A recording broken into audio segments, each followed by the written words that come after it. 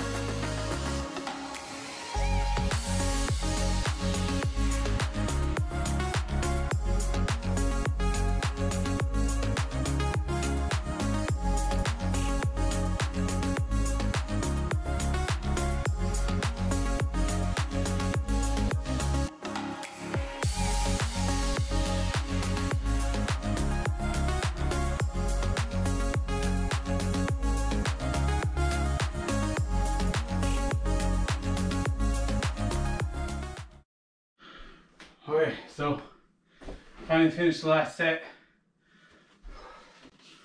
Done with that. Yes.